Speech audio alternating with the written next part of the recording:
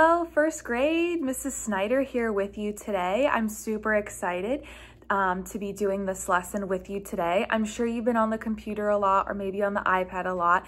So we are going to get up and moving here. I know that in the past couple videos, you've been talking about a steady beat, right? And that's when the beat of the music stays the same. We can clap to it, we can snap to it. Um, today we're gonna get up and we're gonna march to it. So I'm gonna put on a song here for us. We're gonna practice marching together. I wanna see if you can listen to the music and march to the beat without looking at my feet. If you can, awesome. If you need help and you wanna watch my feet and march with me, you can do that too. So go ahead, stand up. Here we go. All right, here we go. We're up. We've got some space. If you want to watch my feet as we're marching, awesome. If you can do it without looking, great. Here we go.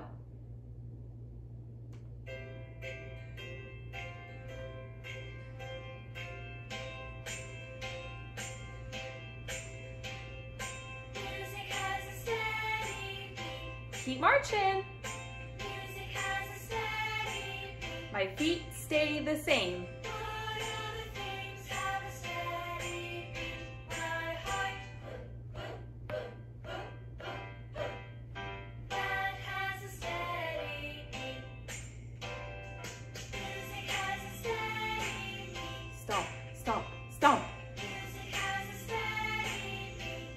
Good job.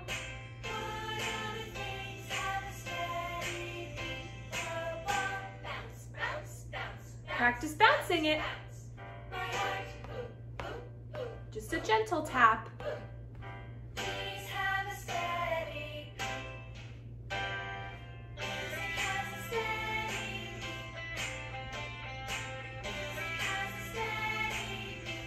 Good job.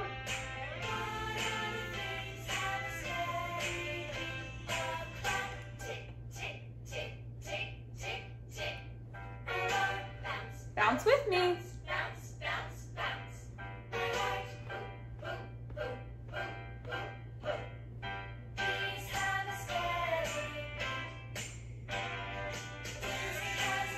Good job.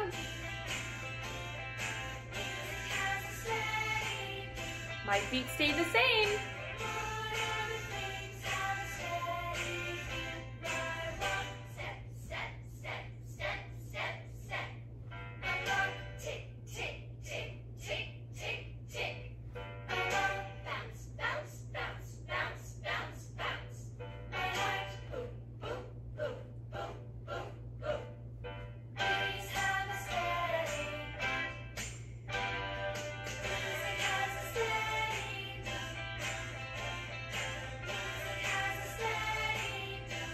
Stays the same.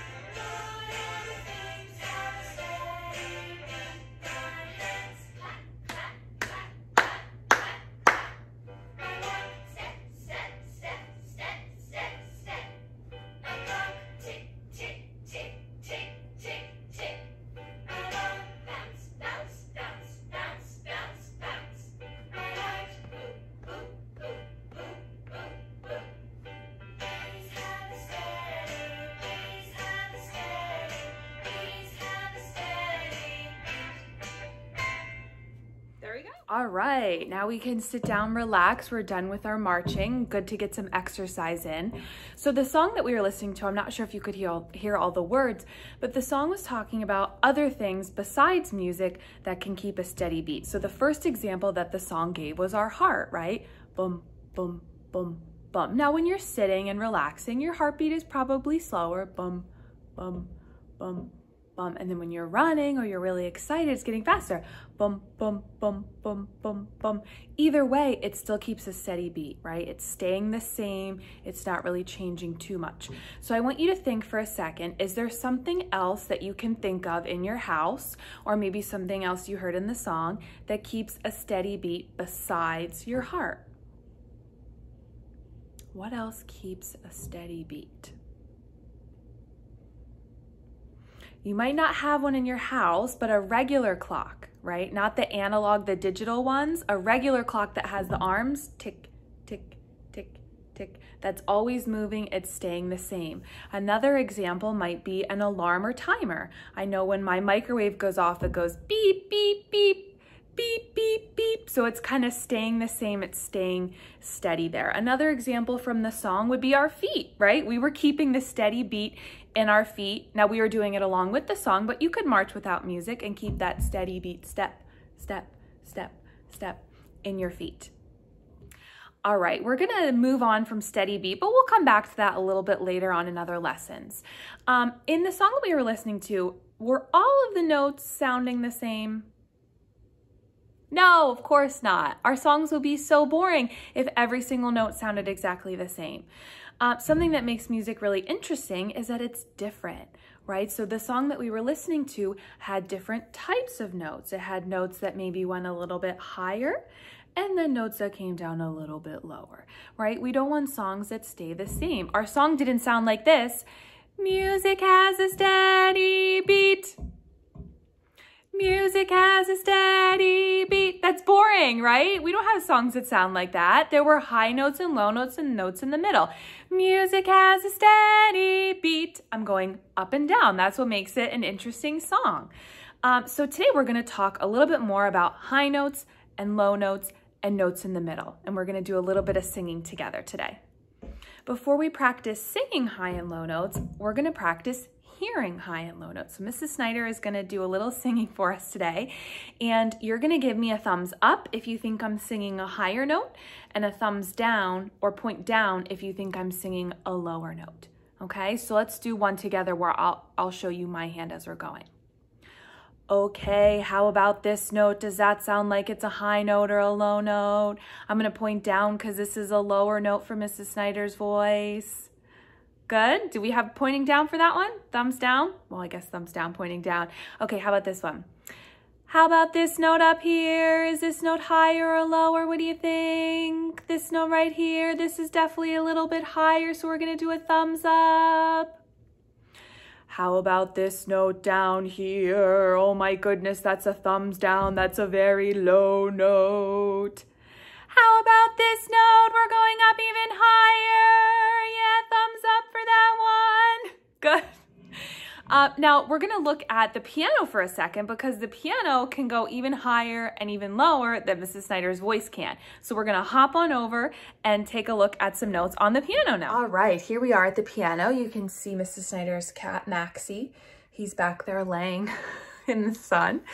Um, so same thing as before. Instead of me singing, I'm gonna play a note. And if you think it's a high note, you're gonna give me a thumbs up. If you think it's a low note or a low sound, you're gonna give me a thumbs down, okay? How about this one? That's a pretty high note. How about this one? That's even higher. We're going down lower there.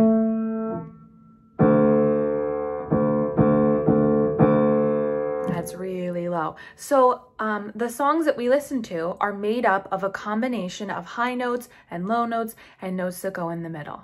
Good job. All right, so now it's time to actually practice what we've been just listening to. What voice do you think we're gonna have to use if we're gonna sing high and low sounds? Our singing voice, of course. Um, so there's lots of ways that we can experiment with high and low notes without writing actual music notes down. And one of those would be by using a line. The fancy word for this is melodic contour, but you don't have to worry about that today. We're gonna use our voice, our singing voice, to follow this cool wavy line that Mrs. Snyder drew. Now, if you look right here, this is where we're gonna start. Based on where the line is on the page, do you think we're gonna start with a high voice or a low voice? A low voice, right? See how the line is way down here at the bottom of the page? And then when we get up here, what kind of voice do you think that's gonna be? That's gonna be our highest voice, right? And then we come the down back to our low voice. So we're gonna just practice this on an oo. You could sing it on a la, an ah, an e if you really wanted to. We're just gonna do oo for right now. Later on, you can pick something different if you'd like. So I'm gonna put my finger right here. We're gonna follow my finger and make the sound together, okay? So remember, we're gonna start with an oo, but it's gonna be a low voice. Ready? Here we go. Ooh.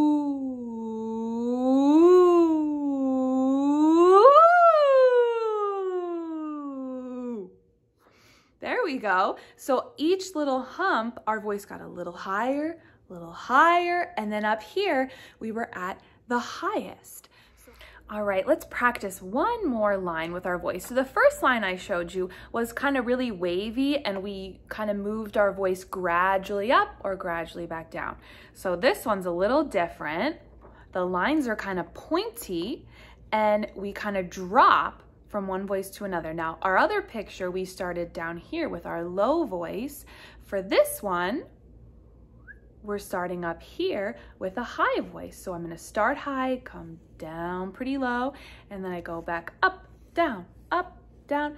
And then here, what do you think my voice is gonna do? My line stays the same. So what do you think our voice is gonna do?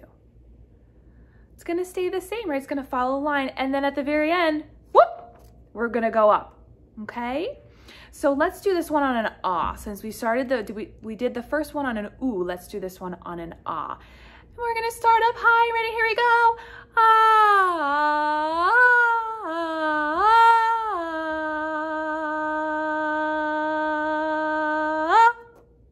So we kind of added that little jump at the end. Fantastic. I want you to try to find a piece of paper in your house. It can have lines on it. It can be scrap paper. It doesn't have to be a big paper like this one. And you're gonna make your own line. You can make it pointy like this one. You can make it wavy like this one. Sometimes I even like to decorate mine. Like I'll pretend there's like a little man sledding or like riding a skateboard down the hills. Be creative if you wanna add some drawings to it. Um, and then show your line to someone. Show it to a brother or sister, mom and dad, grandma, whoever's at home with you and say, I'm gonna teach you how to sing this song. And they're gonna look like, what in the world is that? And you're gonna have to show them to follow with their finger to go up up or down, depending how the line moves. Okay, because we were practicing our high voice and our low voice. And then really all those voices in between, right, are those medium kind of notes that aren't super high or super low. So I had great fun marching to the beat with you. I had great fun singing and listening to high and low sounds with you. I hope you enjoyed our music lesson and I will see you again soon. Have a great day, first grade.